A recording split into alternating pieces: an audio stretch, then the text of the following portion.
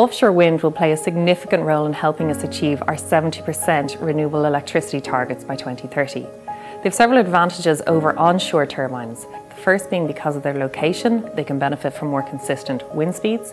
And secondly, the turbines themselves can generate more power because of the higher hub height and the longer turbine blade. The Irish Government's Climate Action Plan of 2019 sets out an ambition of 3.5 gigawatts of offshore wind by 2030. And the programme for government that was published in July 2020 increases that target to 5 gigawatts of offshore wind by 2030 off the east and south coasts. And it sets out a very clear ambition of 30 gigawatts of floating offshore wind between 2030 and 2050. In Northern Ireland, SONI's Tomorrow Energy Scenarios sets out three credible projections for offshore generation by 2030. The first scenario is zero megawatts. The second scenario is 350 megawatts of offshore wind. And the third accelerated ambition scenario is 500 megawatts of offshore wind and 100 megawatts of tidal energy.